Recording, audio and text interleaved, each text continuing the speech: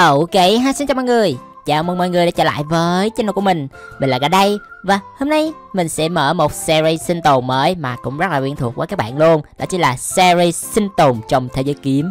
Yeah. Và ở trong thế giới này mình sẽ cố gắng chế tạo nhiều kiếm để mà chúng ta tiêu diệt Warden. Đó chính là mục tiêu sinh tồn ở trong thế giới này. Thì Warden là một trong những con boss mới ở 1.19 đúng không? Ờ, nó có thể đánh xuyên giáp rồi ờ, bla bla cái thứ nói chung là nó rất là mạnh luôn các bạn à Nên mình gọi là boss. Ok và không bao dòng nữa thì mình sẽ bắt đầu sinh tồn trong thế giới này. Mình mong là các bạn sẽ ủng hộ series sinh tồn mới này. Ok bây giờ á là mình sẽ chế tạo một cái bàn crafting bằng kiếm. Chỉ cần mình chế tạo cái bàn này xong á thì nó sẽ hiện tất cả cái công thức lên cho mình uh, chế tạo luôn á. Ok trước hết là mình sẽ chế tạo một cái cúp Rồi sau đó là ờ, khoan Mình chặt thêm tí gỗ nữa đã. Ừ, Chặt cái cây này luôn. Rồi bây giờ thì mình sẽ chế tạo một cái kiếm gỗ Rồi sau đó là mình chế tạo một cái raptin Mình sẽ bỏ vô thử. Đây ờ, Có khi nào uh, tác giả bảo là Mày phải donate cho tao một đô để mà mở công thức? Ờ Ai đợi chơi như vậy đúng không? Không sao hết mọi người từ từ nó sẽ hiện công thức ra thôi. Mình nghĩ là vậy á. Buồn vậy. Chơi mà không hiện công thức sao tao biết đường tới chế tạo? Wow mới vô đã phát hiện cái hang chà bá lửa rồi. Bây giờ mình sẽ xuống phía dưới mình mai tí đá nha mọi người wow rất là nhiều khoáng sản ở phía dưới mọi người ạ. Và mình sẽ lên phía trên lại tại vì mình không có thức ăn. Bây giờ xuống phía dưới mình đi mai nó hơi khó khăn một tí. Bây giờ là mình sẽ chế tạo uh, cúp đá này một cái rìu đá. Và sau đó là một cái lò nung luôn. Về phần cái uh, rap team này thì uh, sao không hiện công thức lên ta? Hay là nó bắt mình phải chế tạo một cây kiếm rồi sau đó nó mới hiện công thức lên mọi người. Bây giờ mình thử rap một cái bàn khác nha. Coi thử là nó có hiện công thức lên hay không. Còn nếu mà không á thì mình sẽ đi ra ngoài web mình à, tìm công thức. Ok, thì mình đã ra ngoài web và tìm công thức rồi. Bây giờ á thì mình sẽ thử chế tạo một cây kiếm trong này nha. Trước hết là mình sẽ chế tạo cái xẻng rồi sau đó mình đào một tí đất. Mình chế tạo thử cây kiếm đất nha. Đấy, có kiếm đất luôn. Xịn sò kiếm đất thì làm được gì? Mình nhớ nhớ là cái kiếm đất này khi đánh vô ờ, con vật nào đó nó sẽ gây mù gì đó tại vì nó hắt đất lên mặt mà đúng không? Ok chắc là vậy rồi. Rồi trước hết là mình sẽ đi uh, phiêu lưu khám phá tới đã. Bây giờ mình đi tìm kiếm thức ăn đã mọi người. Sinh tồn không có thức ăn là toan ấy. Hello mực. Đấy mình đánh vô nó sẽ hắt đất ra. Mình cần là đánh vào một cái con mớp bình thường nào đó. À đây có cừu nè mọi người. Mình thử đánh vào nó nha. Ô, oh, nghe tiếng đất đã thực sự luôn rồi các bạn nghe rõ tiếng đất không? Quá đã. Cây kiếm đầu tiên trong thế giới này rất là dễ chế tạo luôn. Và độ bền của nó thì uh, bao nhiêu ta? Để mình coi thử nha.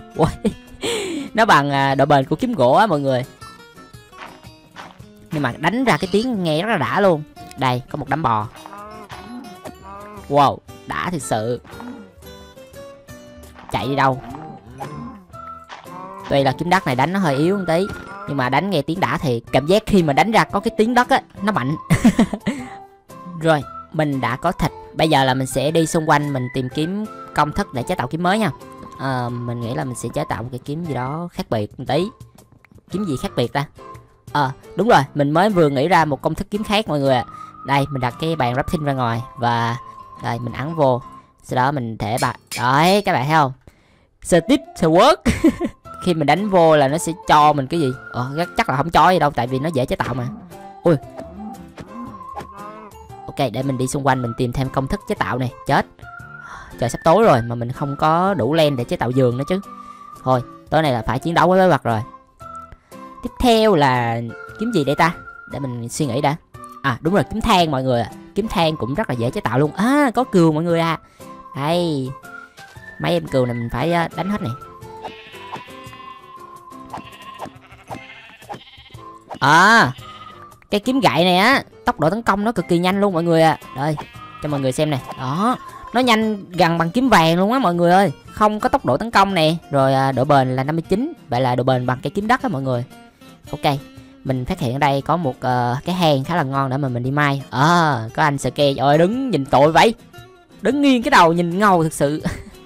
Rồi bây giờ mình sẽ qua bên đây mình lấy mí này. Sau đó là mình à, ráp thêm một cái giường chuẩn bị đi ngủ.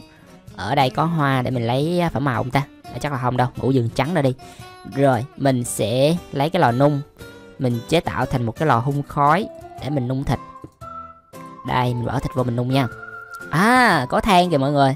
Hoa này trời ơi trước mặt luôn. Kêu không có phẩm màu à rồi mình đã có giường đỏ để ngủ này.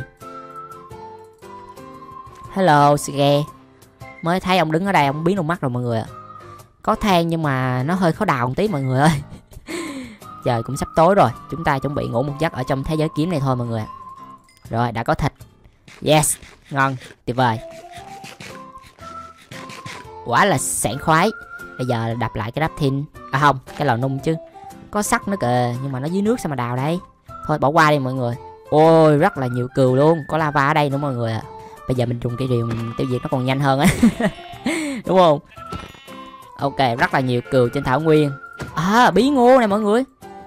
Có bí ngô là có kiếm bí ngô ấy.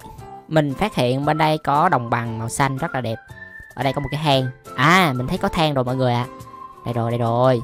Ê, cái hang cũng nạn đây rồi, các bạn ơi, có than ở trên này. Rồi mình tiêu diệt tí cừu đã. Nhìn mấy con quỷ này đi ghét quá. Thêm một cục than đây nữa là thành chữ h rồi. Có cả đồng luôn nè hình như là mình cũng có thể làm kiếm đồng ở trong cái phiên bản này á mọi người. Mình muốn chế tạo cái kiếm nào đó rất là mạnh để đánh con Warden một cái chết luôn. Ok 23 cục đồng. Ở đây là một cái hang hẹp mọi người mình rất là ghét hang hẹp luôn. Và đây Ê, chết mình đặt một lần hai cái bàn luôn á mọi người. Rồi mình lấy cái ráp thinh bình thường đây này. Mình chế tạo uh... ủa không cần phải chế tạo khối than mọi người à hình như là mình ráp như vậy vẫn được đó hình như khối than là bên cái công thức mod, còn cái này là data bắt nó khác kiếm than là làm mù đối phương hay là à đúng rồi, kiếm than khi mình đánh vào đối phương á thì sẽ xuất hiện cái đuốc mọi người ạ à. mình thử đánh vào con bò xem ủa mình thấy là nó xuất hiện cái gì màu đen á, hình như là nó làm mù thiệt mọi người ạ à. mình nghe có cái tiếng như là tiếng đặt block gì đó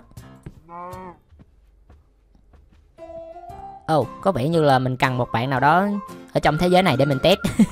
Chưa test vô mấy con động vật nó chạy bình thường à. Chính xác cây kiếm này nó bảo là khi đánh con mớp á, nó sẽ xuất hiện đuốc. Nhưng mà có xuất hiện cái đuốc đâu đâu? Tác giả lừa mình rồi. Hoặc là database này à, không hoạt động hả ta? Nhưng mà mình thấy nó xuất hiện cái màu đen đen mà. Đây mình đánh vô con mớp lại nha. Đấy, nó không xuất hiện cái đuốc gì luôn. Ok, mình đi ra phía bờ biển nha mọi người. Biển rất là đẹp luôn. Wow. Oh, cừu đen. Cừu đen với kiếm đen. Rất là hợp nhau các bạn à. Này thì hợp. Vẫn không có cây đuốc nào xuất hiện. Ồ, oh, mình cứ tưởng sắc ấy chứ. Hình như bên kia có đồng với lại than nữa kìa. Mình đào hết luôn nha. Ở trên cái bờ biển này nhiều than ấy. Ở trên uh, Savannah này không có dân làng mọi người Nếu mà muốn đi qua dân làng chắc là phải đi thêm uh, mấy nghìn lóc nữa mới qua ấy. Nhiều kiếm quá mình đem theo nó hơi vướng đây. Có cái uh, mod bắt này vô á. Đó các bạn nhìn nè khi mà mình có kiếm ở trên người á nó sẽ mang ở bên à, hông. Rất là đẹp luôn đúng không? Rất là hợp khi mà chúng ta chơi cái sinh tồn kiếm này. Có khi nào là mình phải đánh những con mớp như là quái vật nó mới xuất hiện đuốc không mọi người. Còn mà đánh mấy con mớp động vật thì nó không xuất hiện. Chắc là vậy á. Ui cái vùng núi này có vẻ đẹp á. Ui cái chỗ này sinh tồn hợp lý nè nhưng mà mỗi lần chặt cây mình phải chạy qua kia u chỗ này đẹp á mọi người ạ. À. mình muốn sinh tồn chỗ này.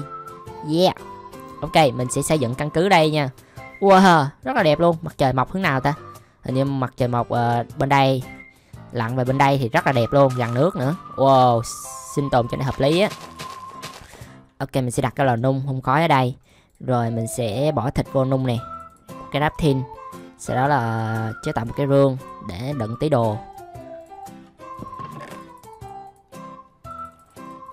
Ok mình sẽ qua bên kia mình chặt gỗ. Chuẩn bị xây nhà. Ờ mình nghĩ là mình sẽ làm cái thuyền luôn.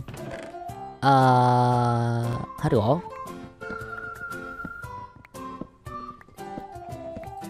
Ô oh, có cả cây uh, tre nè mọi người. Mình lấy luôn nha. Bên đây có vẻ đẹp á. Ồ có dưa luôn. Quá sẽ đã. À khu rừng này có quẹt. Hôm nào rảnh thì mình sẽ qua bên đây mình bắt quẹt về. Như kiểu hải tặc vậy ha. Có quẹt cái kiểu gần biển nữa ờ, chặt nốt cái ờ, gỗ này mình sẽ về luôn. Thì mình sẽ không xây biệt thự hay gì nha. Mình tính á là xây một cái căn cứ bao quanh bằng gỗ thôi và sau đó là mình sẽ đào một cái đường hầm.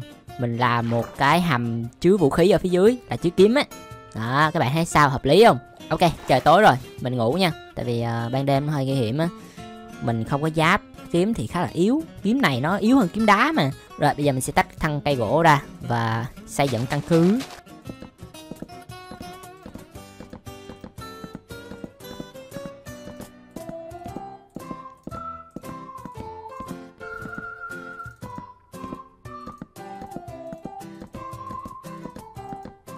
10 nhân 10 nha. Đó như vậy là rộng lắm rồi á. Mình sẽ cho lên một lóc nữa. Rồi bây giờ là mình sẽ lót uh, gỗ ván vô. Như vậy là cao lắm rồi á. Gần một stack gỗ mà xây uh, hết trong một tích tắc luôn. Ôi vải Vừa đủ luôn. Mình còn chưa làm sàn nữa nha. Rồi cái bàn này thì mình sẽ để bên góc này. Đấy mỗi góc mỗi bàn khác nhau cho dễ phân biệt rồi sau đó mình sẽ lấy đá ra Mình chế tạo một cái lò nung. À hai cái luôn đi ha. Rồi che thì mình sẽ trồng ở ngoài. Đấy mai mốt nó mọc lên nó sẽ có bóng mát cái kiểu nhìn cho nó đẹp một tí. Có xe đờ mới có bóng mát nha. Phía này mình sẽ dọn tí cỏ này Sau đó mình uh, chuẩn bị uh, trồng trọt.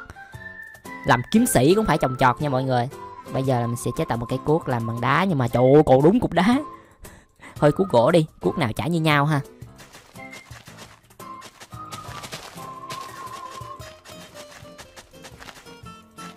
Ok gãy luôn. Đúng là cuốc gỗ. Và bây giờ mình sẽ trồng hạt giống vô. Đấy mai mốt có lúa mì thì mình sẽ chế tạo được kiếm uh, lúa mì. Ok ủa mới trồng mà. Nhanh vậy. Đồng thì uh, chắc là chế tạo được kiếm đồng ấy. Để mình thử nha. Đấy được nè. Ê chế tạo giỡn mà. Cái này nó cũng có oxy hóa nha mọi người. Uh, khi mình đánh thì nó sẽ có cái à, poison dam gì đấy.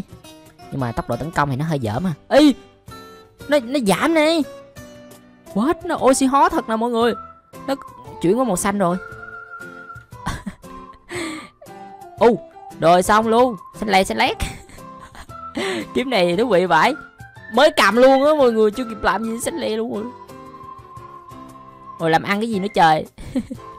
Rồi xong. Bây giờ là nó chuyển sang màu xanh luôn nè. Nó không còn là cái màu cam nữa. Ô oh. ê nó bị bị gì mọi người? Bị đồng ăn mòn hả? Ghê vậy? Cây kiếm bị đồng ăn mòn và các bạn nhìn nè. Khi mình ủa đúng không mọi người. Khi mình đánh vô cái con cừu mà nó ăn mòn á cây kiếm đồng nó được sửa chữa lại. Nó không còn bị oxy hóa nữa. Ui có vẻ hấp dẫn ta. Hay nha. Ờ, được đấy ô mình đào qua thiên đường luôn nè mọi người. Ảo vậy, rồi bây giờ là mình sẽ chế tạo một cây rìu mới để mình qua bên kia mình chặt thêm gỗ này mình làm cái sàn nha. Còn cái chỗ này mình ờ, sẽ đập ra hai block để mình lót kính vô. Mình sẽ qua bên đây mình đào cát này. Ui, có rùa nè. Ủa? Sao có con con vậy ta? À đúng rồi. Mình thấy ở đây có cá tuyết, mọi người ạ. À. đây nè, có rùa luôn, có cá nóc luôn.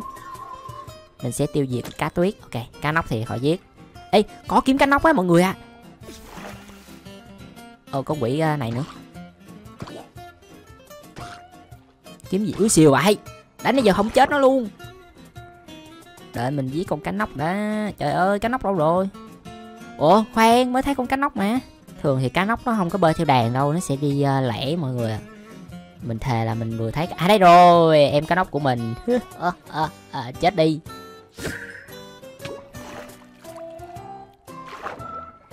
Vậy là ở đây có mấy con rùa lận mọi người nó đi ra biển nó chơi á. Khá là vui rồi đó. Kiếm cá. Có kiếm cá nóc nữa mọi người à để mình chế tạo cây kiếm cá tuyết trước ờ à, không được hả? À cá nóc với lại cá tuyết chung chứ không phải là cá tuyết không. Là mình cứ tưởng mình sẽ trồng mí lên nha. Cây kiếm này khi mình đánh nó sẽ có poison là đâm á mọi người poison của con cá nóc á. Ồ oh, ra là vậy. Đây bây giờ là mình sẽ chế tạo thuyền nha. Hồi nãy không có gỗ chế tạo thôi. Bây giờ là có gỗ rồi. Mình sẽ chế tạo thuyền gỗ sồi. Ờ, ờ, ờ. Chúng ta sẽ test cái kiếm cá ủa? Sao mình thấy bình thường vậy ta? À nó đâm nè. À vậy là tỷ lệ nữa mọi người tỷ lệ hên xui của cái kiếm này.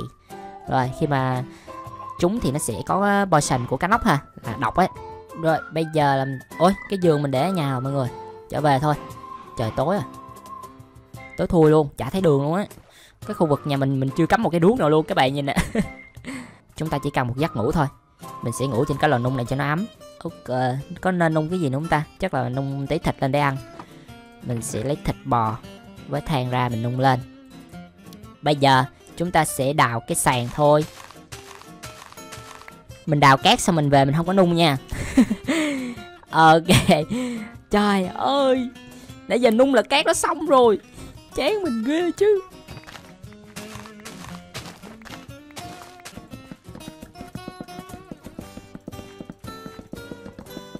Vậy là xong cái sàn gỗ nha mọi người. Tuyệt vời liền. Còn 13 cục gỗ đúng không? Bây giờ là mình sẽ ráp thêm cửa này. Phải có cửa mọi người ạ. Để ở đây. Để cho quái quật nó không chui vô được. Rồi sau đó mình sẽ lấy thủy tinh ra. Mình chế tạo thành mảnh thủy tinh. Đây. Mình lắp vô. Rồi là xong cái căn cứ liền. Ở phía trên thì khỏi lót cái gì nữa. Như vậy là được rồi. Căn cứ ờ, hình vuông. Ở phía dưới là mình sẽ đào một cái ờ, sàn rồi làm một cái ờ, hầm ở phía dưới sau ha à đúng rồi mọi người à. Mới nhớ là có thể chế tạo kiếm thủy tinh hay sao ấy.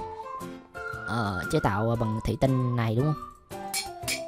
Đây glass sword. À mình biết chức năng đặc biệt của nó là gì rồi. Chức năng đặc biệt của cây kiếm thủy tinh này á là khi mình đánh vô thì nó sẽ có những mảnh thủy tinh gọi là cứ vô người con mớp. Đó các bạn hiểu không? Nó bảo là có thể chế tạo từ ờ, tấm thủy tinh luôn. Để mình thử đã. Trời chế tạo nhiều tấm thủy tinh vậy. Được luôn. Ủa?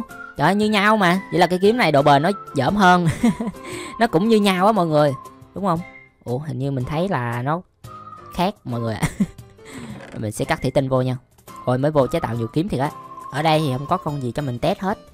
À một đàn heo luôn. Ôi, sao mình thấy hồi nãy có ít mà. Rồi, giờ cả đóng luôn. What? Mạnh vậy luôn hả? Nhưng mà nó chỉ có ba đồ bền thôi. 12 sức tấn công luôn á còn cái kiếm thủy tinh này. Ồ nghe tiếng vỡ rồi. Đã thiệt sự luôn. Độ bền là 32 ôi, các bạn nhìn nè. U, nó chảy máu ra chết luôn. Cái miếng thủy tinh nó găm vô người á, nó chảy máu từ từ như là độc vậy mọi người. Các bạn thấy máu màu hồng không? Ghê vãi. Ủa, màu đỏ hay màu hồng vậy? Mình thấy màu hồng mà. Rồi, đây là kiếm glass sword vậy là mình đã có một đống kiếm rồi. Đây. Sáu cây kiếm này nha. À bảy luôn chứ. Bảy cây kiếm rồi mọi người bí ngô này thì uh, không biết là chế tạo được kiếm hay không nữa. Mình sợ là nó cần bí ngô khắc ấy. Ờ bí ngô này vẫn chế tạo được kiếm à? Nó sẽ uh, gắn cái đầu uh, bí ngô vào con mớp nha mọi người. Cái kiếm này nó bảo vệ á. Chức năng đặc biệt kỳ vậy. Và kiếm này chỉ có hai sức tấn công thôi yếu cực kỳ luôn tốc độ tấn công cũng giảm nữa. Mình vừa tìm được một đống công thức chế tạo kiếm luôn mọi người ạ. Để coi thử nha. Đầu tiên là cát rồi sau đó là đất sét nữa. Ui lúa này mọc nhanh vậy. Mới trồng mà đất sét thì chỉ cần lặn xuống phía dưới này đào lên. Đây nha vừa chế tạo cho mọi người xem nè trước hết là cầm một đống ve trước đã. Đấy rồi sau đó là mình sẽ chế tạo uh, hai cái quả cầu đất sét à, ờ, quả cầu đất sét chế tạo bốn lốc thôi như vậy thì mình sẽ tiết kiệm được nhiều hơn. Rồi sau đó là mình bỏ vào đây mình chế tạo này. Đó kiếm đất sét ui kiếm đất sét to vậy nhìn nè mọi người. Wow to bay trưởng luôn rất là đẹp luôn mọi người ạ. À. và kiếm đất sét này nó sẽ gây uh, làm chậm gì đó. Uh, khi mà mình đánh thì nó sẽ có sức tấn công cao nhưng mà tốc tấn công nó giảm. Đây mọi người nè. Đó. Tại vì cái kiếm này nó to phải trưởng này rồi còn cái kiếm nào nữa ta? À cái kiếm cát nữa đúng không? Hình như là có kiếm cát luôn. Đấy kiếm cát này. Nó sẽ làm con mớp bị sặc cát. Bị sặc cát mọi người à không hiểu lắm. Để mình test vô con heo thử. Ủa sao mình thấy tội con heo quá. Cái gì cũng test vào đó hết. Rồi coi thử là nó có sặc cát hay không nha. Đấy sặc cát rồi vậy thôi mọi người à chỉ có cát như vậy thôi. Bốn sức tấn công ha. Và mình thấy cái kiếm này cũng ổn ấy. Nó không có giảm tốc độ tấn công hay gì cả. Rồi tiếp theo là mình sẽ đi qua bên khu rừng mình lượm mầm cây. Ô oh, cái cây này mình chưa chặt xong hả? Chặt nốt nha. Cho lá nó rụng xuống luôn mình tìm táo. Ủa sao cái chỗ này cây nó mọc liền nhau với vậy ta? Liền nhau là mình phải chặt hết luôn. Nếu mà mình không chặt hết thì cây nó không có đụng lá được. Đây mọi người ơi mới vừa chặt xong là có hai mầm cây này nè. Ơi vừa nói luôn có táo. Một quả thôi cần thêm một quả nữa. Trời, bây giờ mình sẽ ờ, ui lúa nó sắp mọc rồi này mọi người là có bánh mì á. Bánh mì là không phải để ăn để chế tạo kiếm. Mình sẽ cố cái đường đi một tí cho nó đẹp.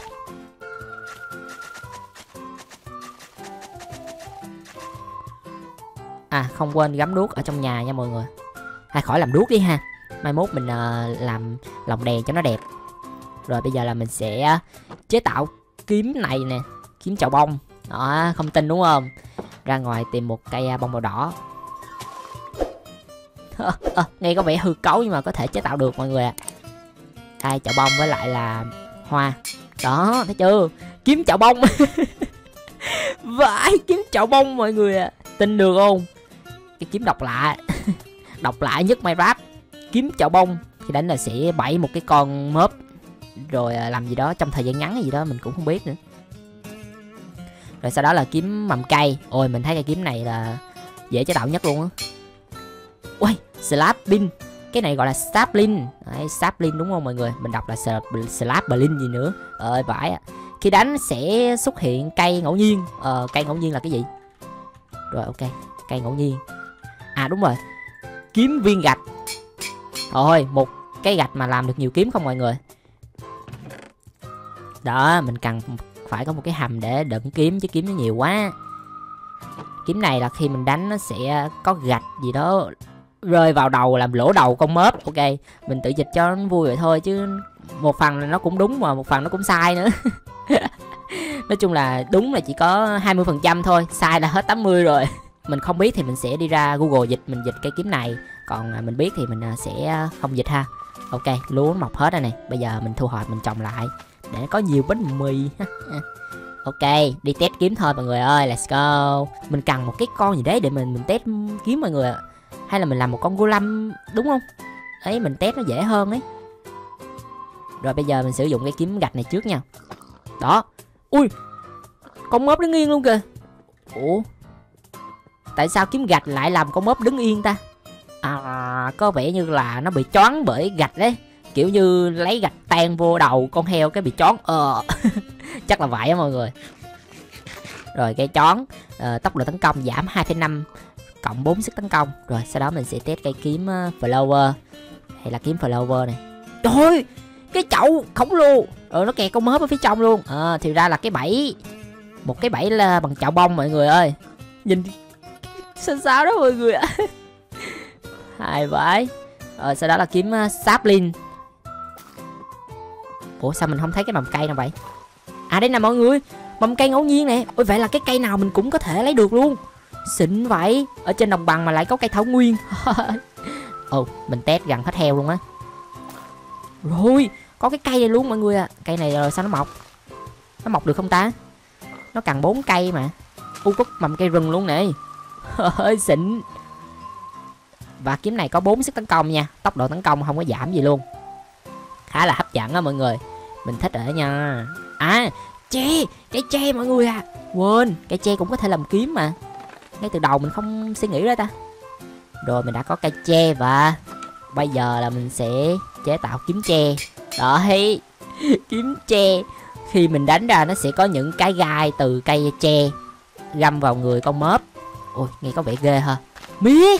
À đúng rồi mí mọi người ạ. Mí cũng có thể làm kiếm nha. Ok. Ủa? Phải kiểu uh, đang thú vị mà làm mắt hứng ghê á. Mí không có làm kiếm được mọi người ạ. Nhưng mà tre thì làm được ha. À, mấy em heo rồi? Đó uh, nhìn xịn vãi các bạn nhìn tre nó mọc lên nè. Nhưng mà nó chậm quá như vậy làm sao con mớp nó bị dính được đúng không? Con mớp nó mất hồn nó chạy nhanh rồi. À nhưng mà đánh mấy cái con quái vật thì khác nha đúng không? Mấy con quái vật khi mà đánh vào nó đâu có chạy đâu. Nên là cái kiếm tre mình thấy khá là ổn ấy. Ba sức tấn công và tốc độ tấn công nó giảm cực kỳ nhiều luôn. Rồi bây giờ mình à, bơi qua bên kia mình tìm táo nha. Không có trái táo đâu luôn thiệt luôn á hả? Ờ, khá là xui mọi người ok thì hôm nay mình chơi tới đây thôi nha mọi người. Trong lúc ợp á thì mình sẽ đi chặt gỗ và làm một cái hầm chứa kiếm ở phía dưới. Da bò thì các bạn cũng biết mà đúng không? À, mình cũng có khá là nhiều. Đây nè để mà mình làm khung. Đó 11 da bò luôn. Hôm nay chế tạo được bao nhiêu cây để mình đếm lại đã? 1, 2, 3, 4, 5, 6, 7, 8, 9, 10, 11, 12, 13 cây. 13 cây kiếm. 14 luôn. Đây nè cái kiếm sắp linh nữa. Trời ơi. Quá xa đã rồi, và cảm ơn các bạn đã theo dõi video sinh tồn trong thế giới kiếm tập hôm nay nha. Và bye bye, hẹn các bạn vào video Minecraft lần sau.